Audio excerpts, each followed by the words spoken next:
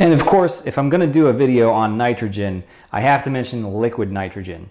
This stuff is really, really amazing, and I'm lucky that my local Airgas will sell it to me. Uh, I have a proper dewar to hold it in, and that's all they require. So first let's go over physical properties. Liquid nitrogen, as you probably know, is very, very cold. It's at 77 Kelvin or negative 320 degrees Fahrenheit. So that is astonishingly cold. Uh, the Kelvin scale, if you're unfamiliar with it, uh, zero is absolute zero. You cannot get any colder than that temperature.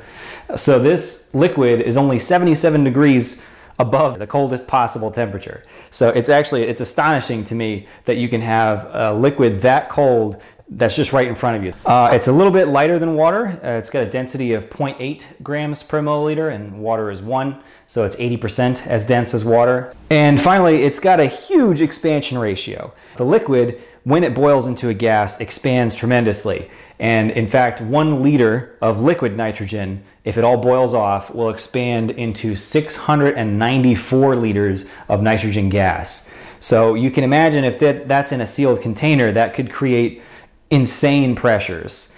And so, in fact, you might have noticed that uh, this just has a foam plug on top of it, which is really just sitting on top of it. It's not uh, in there at all. Um, and that's because you cannot store liquid nitrogen in a sealed container uh, at room temperature. Now that's in contrast to something like propane. Propane is a gas that when you uh, compress it, it can be liquefied. So if you pick up a propane cylinder and, and shake it, you can hear liquid sloshing around. That's liquid propane and it's a liquid because it's under pressure. This nitrogen is a liquid because it's cold, and you cannot put it under enough pressure to turn it into a liquid at room temperature. So anything that's designed to store liquid nitrogen is never sealed. This is just an open uh, container, and even the, the giant ones, though we have 160 liter dewars at work, and those have a relief valve that's constantly hissing and letting out nitrogen. And I mean, it may seem wasteful, but that's just what you have to do. You cannot store it in a sealed container. So if you take a look down into the dewar, you can see that the nitrogen is colorless. Uh, looks just like water, and it is boiling, as I said, because it's always going to be uh, absorbing some heat, despite how insulating this container is. So it looks just like boiling water. It's even um, not very viscous, so it moves around a lot like water does.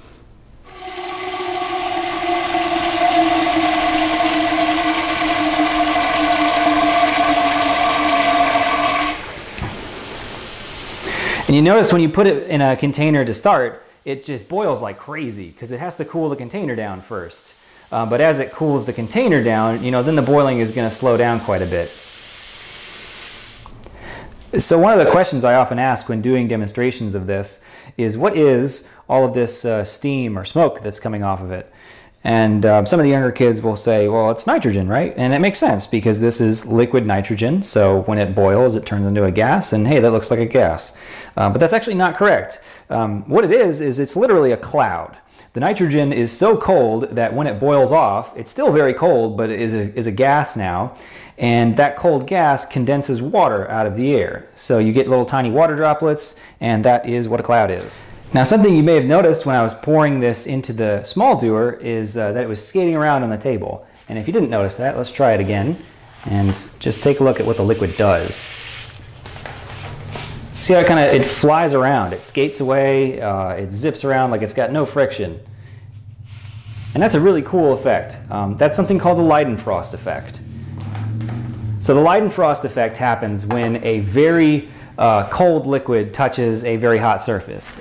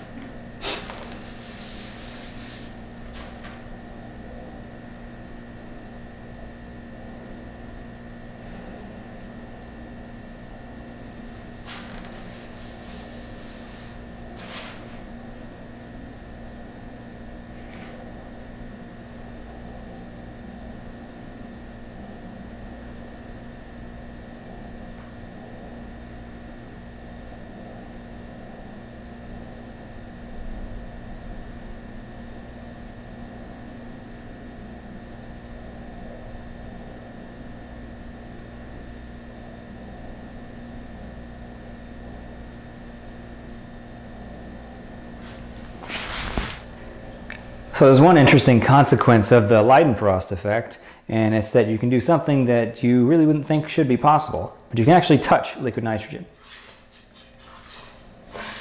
Briefly. So you notice I'm, I'm really quick about it. you can't leave your hand in there. It's that cushion of gas between the liquid and the hot surface, in this case my hand, that protects it. So it really just feels like um, putting your hand in, the, in a freezer. You know, it's very, very cold, but it's not that bad. Um, you just got to be quick about it. So now let's do a couple of little experiments with this. And I, am not going to do a ton of different things here just because uh, there's so many different things you can do with liquid nitrogen and it's going to make this video tremendously long. Um, but the first one I want to do is uh, actually my favorite um, because I think a lot of people don't know about it either. And it has to do with LEDs. So I've got a uh, what's called a yellow LED here. I mean, it kind of looks like orange to me, but they call it yellow, so we'll go with that. Um, so you see if I shine on the table, that's the color of it. Uh, so this a really neat effect is that uh, when you cool uh, such an LED in liquid nitrogen, take a look at what happens.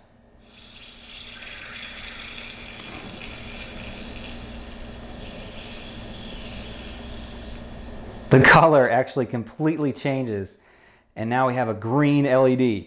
Like again, let's put it on the table. That's totally green. And that's an amazing effect. And what's really neat too is, that you know, once this thing heats back up again, it slowly changes back to being an orange LED. So now we're more yellow, and as it warms up, we get to be a bit more orange. And so this is totally repeatable. And let me do it again. I'll turn the lights off as well for this one. All right, so again, here's my orange slash yellow LED. Cool that down on the nitrogen. Should go a bit faster because it's already cold.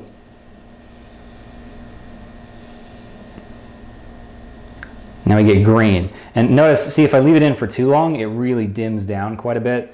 Um, and that turns out that that's because these green LEDs, they require a bit more voltage than an, an orange LED does. So this not only optically turns from one color to the other, it's electrically, I mean, it needs more voltage when it's cold. So it really does become a green LED.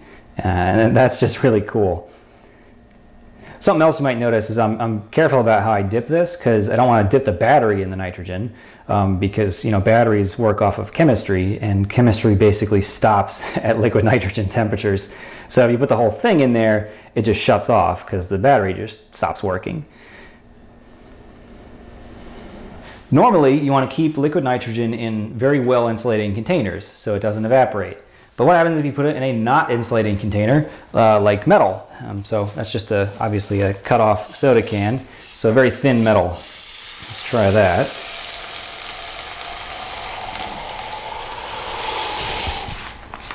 See, you really could see the, uh, the boiling effect there as it cooled it down. So that cools down super quick, obviously, because it's super thin.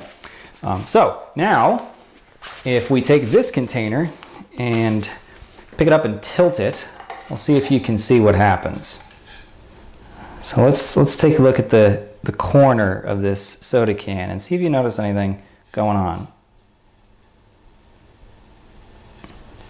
Maybe I'll move it back a little bit so you can see what happens on the table. See that? There's, there's a liquid dripping off of the corner. And this is not leaking out of the can. I haven't tilted it so much that it's you know losing nitrogen. But there is a, a liquid that's actually dripping see if I can maybe get a better angle. So see the liquid that's dripping off of it. And it's acting just like nitrogen is. I mean, it's, it's skating around on the surface. Uh, it doesn't uh, stay, it doesn't stick around. It evaporates pretty quickly. So what do you think that might be? So it's not water, right? Because this is so cold that water would just freeze, and it is. You see it's forming um, frost on the outside. So it's not that. Um, so what it actually is, is liquid oxygen. So liquid oxygen has a boiling point that is just a bit above liquid nitrogen. Uh, remember I said liquid nitrogen is negative 320 Fahrenheit. Oxygen is negative 297.3 Fahrenheit. So it's about 23 degrees uh, warmer. So that condenses straight out of the air first. Um, so the, the air is actually condensing on the outside of this can, which is, is pretty amazing. And I imagine it's not so totally pure. I mean, there's probably a little bit of other stuff mixed in, but I, it's mostly oxygen. And you can use liquid oxygen for all kinds of other things, which are equally as amazing as liquid nitrogen. And again, that would make this video incredibly long, so we're gonna save that for a future video, perhaps the next in the series.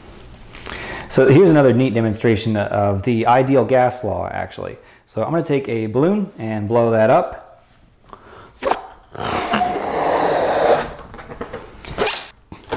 So now I have a balloon that's full of air. But let's dispense some into a beaker and you'll get to see some more uh, boiling, which is always fun.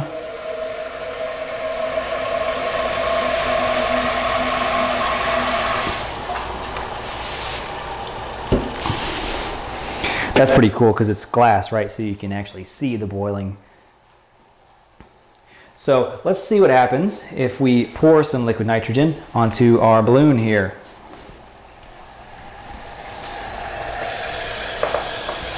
And hopefully you'll be able to see it because I've got to try to orient myself the right way. But here we go.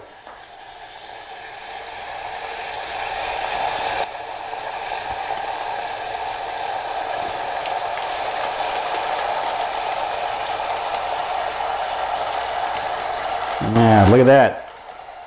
So it shrinks. And if you're familiar with the ideal gas law, it's uh, PV equals nRT. So if one side uh, changes, the other side has to change with it. So if we decrease the temperature, the T goes down, that means the V has to go down too. So the volume decreases as the temperature does. Now, the most impressive part of this demonstration, I think, is what happens to the balloon afterwards. But uh, check it out, you might be able to see some liquid sloshing around inside there. we put this back on the table, and uh, as it warms back up, it expands again.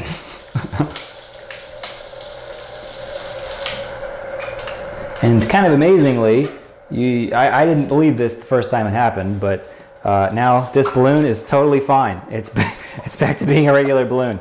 And it's astonishing to me that latex can survive uh, temperature changes like that. You know, something so common can actually withstand it. And I think that's pretty funny. So we're gonna try this one more time and see if you can see it better.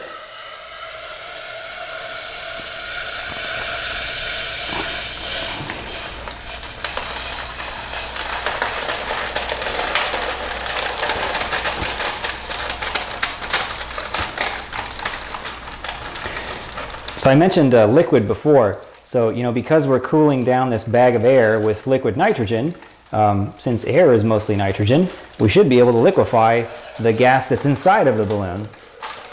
So you, it's kind of hard to see sometimes, but there's actually liquid that's sloshing around inside this balloon here. So that's our, our liquefied air. You hear how, how, how hard it is. I mean, it's totally frozen. but I mean, once it thaws, it's just fine. I, have reused the same balloon for this demo uh, five or six times before, and it comes back every time. So if you have liquid nitrogen, of course you got to freeze and shatter stuff. So I like to do flowers a lot because they're very fun and easy to do. So uh, what we do is just stick them in there and see what happens. And it actually goes very, very quickly because the petals on the flowers are so thin, so they freeze almost instantly.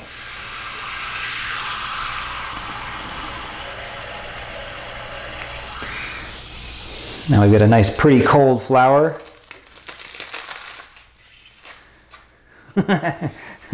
Petals sound like glass. Here, I'll do one more. Freezes pretty much immediately.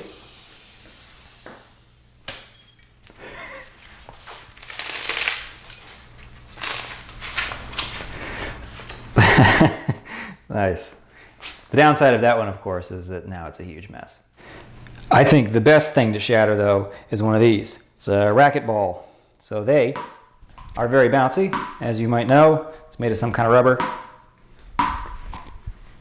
But what happens if we bring that down to liquid nitrogen temperatures? Now this is going to take a bit longer to freeze because it's much thicker than a flower petal is. So we'll give that a minute to, to freeze. And, and you can see it floats too, so I gotta kind of like roll it around and poke it down into the nitrogen every now and then. And the way that you know these things are frozen is once it stops boiling, because uh, right now it's obviously super hot according to the nitrogen, so it's going to keep on boiling. But when the boiling slows down, then we know that our, our rubber is actually frozen all the way. All right, we got our cold racket ball. Now let's see how well this one bounces.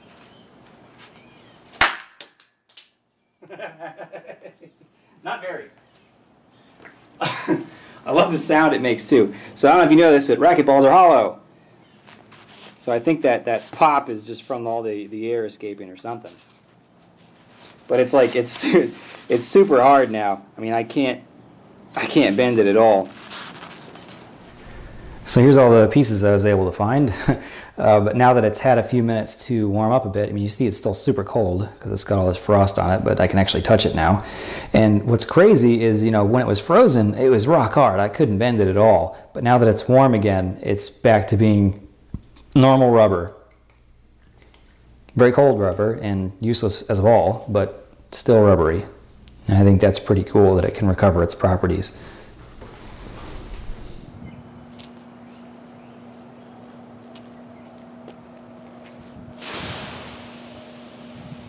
ハハハハ。